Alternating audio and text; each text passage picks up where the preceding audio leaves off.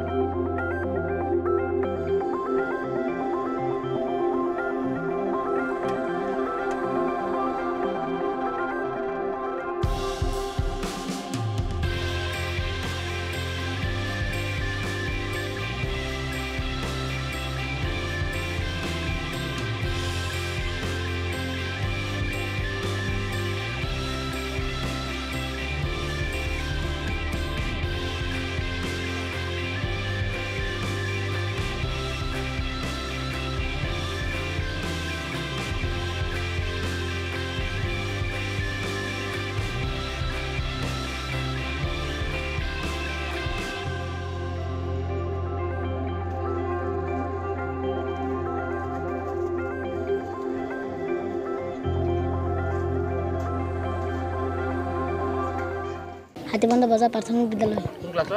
Class five. আলু আধা ৰহুন পিঁয়াজ মৰিচ। আৰু কণী। কিমান টকাৰ শাক চব্জি আনিছা তুমি? ছশ। এতিয়া উঠিল? দুশ। দুশ টকা উঠিল। লাভ হ'বনে? হ'ব। কোনোবাই ঠগিলে নেকি নহয়। তুমি ঠগিছা? নহয়। নাই ঠগা? বজাৰ দি ভাল লাগিছে? ভাল লাগিছে।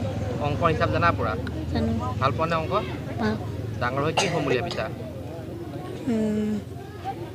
I P S? I P S. কেনেকৈ গম পালা তুমি? ইমান সৰু বয়সতে আই পি এছ অফিচাৰ যে হ'ব পাৰি। পঢ়িম ভাল কৰি ভালকৈ পঢ়িবা। আই পি এছ অফিচাৰ হ'বাই। হ'ব। আই পি এছ অফিচাৰ কাৰোবাক চিনি পোৱা নে? পাওঁ। কাক? Arun Mishra. I P S officer তেওঁ লগ পাইছা? পাইছোঁ। তুমি আৰক্ষী হ'বাই আৰু। সপোন আছে? আছে। মা দেউতাক কৈছা নাই আই পি এছ অফিচাৰ হ'ম বুলি? কৈছোঁ। কি কয় মা দেউতাই বেছি পঢ়িবলৈ ভালকৈ। কোন ক্লাছত তুমি? ফাইভত। আজি বজাৰ দিছা? হয়। কি কি আছে বজাৰত? বিলাহী আছে আলু আছে তাৰপিছত ভিন আছে পিঁয়াজ আছে উৰহি আছে। বিক্ৰী হৈছে নাই? হৈছে। হিচাপটো কৰিব পাৰিছা নাই? হয়। পইচা খেলি মেলি দিছে নেকি? নাই। ঠগি দিছে নেকি কোনোবাই আকৌ? নাই। নে তুমি ঠগিছা? থকা নাই। ঠগা নাই? নাই। ক'ৰপৰা কিনি আনিলে বস্তু চব্জিখিনি? বজাৰৰ পৰা। বজাৰৰ পৰা। কিমান টকা বস্তু আনিছা তুমি? বস্তু আনিছোঁ মই এশ টকা। এশ টকা। এশ টকাৰতো ডেৰশ টকা ওলাব লাগিব। হয়। পা- হ'বগৈনে নাই?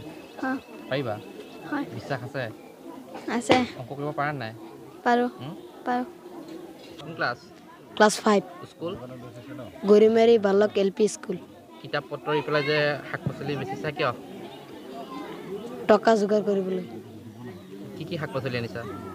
এই বেঙেনা আনিছোঁ মৰিচ আনিছোঁ বন্ধাকবি আনিছোঁ। বিলাহী আনিছোঁ মৰি জলকীয়া আনিছোঁ। কিমান টকাৰ চব্জি আনিছা তুমি? তিনিশ টকা হ'ব। তিনিশ টকাৰ চব্জি। আচলতে আজি আমাৰ চৰকাৰী নিৰ্দেশত ৰাজ্য উৎসৱ পাতিব লাগে।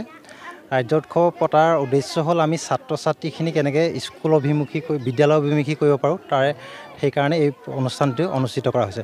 আৰু ইয়াত আপোনাৰ দেখা হ'ল যে আপুনি কৈছে যিহেতু কৈছে আপুনি আমাৰ বজাৰ বা শাক পাচলি দেখা হৈছে। শাক পাচলি কনচেপ্টটো এইটো হ'ল আমি শাক পাচলি বা দোকান এখন খুলি কেনেকৈ ছাত্ৰ ছাত্ৰীক সংখ্যাৰ জ্ঞান দিব পাৰোঁ আৰু তাৰ মাৰ্কেটিং স্কিল স্কিলটো কেনেকৈ দেখুৱাব পাৰোঁ সেইকাৰণে এই এই ব্য- ব্যৱস্থাপনা কৰা হৈছে।